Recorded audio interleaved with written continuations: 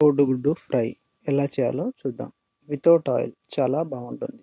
ఇది చపాతీతోనో జొన్న రొట్టెతోనో చాలా బాగుంటుంది. ముందుగా పెనం తీసుకొని పెనం బాగా వేడెక్కాక ఒక కోడిగుడ్డుని పగలగొట్టుకొని వేసుకోండి.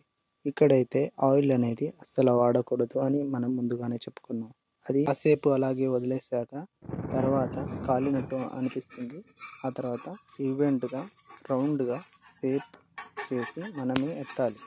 కొంచెం స్లోగా ఎత్తుకోండి. తొందరగా ఎత్తితే అది రాదు. కొంచెం స్లోగా నెమ్మదిగా ఎత్తి తిప్పేయండి. తిప్పేసినాక మళ్ళీ ఒకవైపు అలాగే కాసేపు కాలనివ్వండి. కాలాక మళ్ళీ నెమ్మదిగా ఎత్తడానికి ట్రై చేయండి.